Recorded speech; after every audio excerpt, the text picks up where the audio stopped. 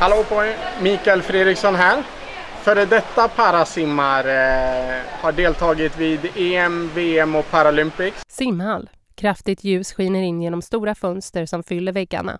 Mikael, rakat huvud, mörkt skägg, svart t-shirt, går längs med banorna och tittar på simmarna. Eh, nu, numera arbetar jag som simtränare bland annat i, här i eh, Kungsbacka.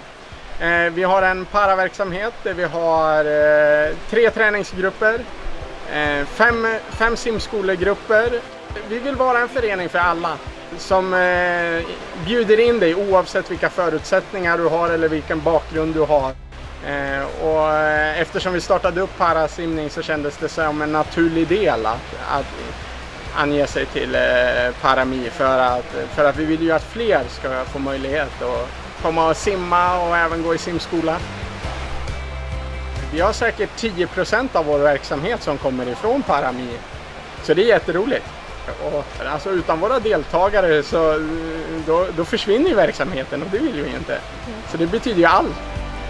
Så det, det, finns verkligen inga ursäkter att inte anmäla sig till Parami.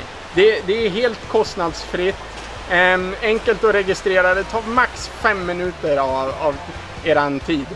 Och det, är man orolig för att det kommer eh, massa deltagare på en gång så tror jag inte man behöver vara så orolig utan man kommer få en jämn ström av deltagare.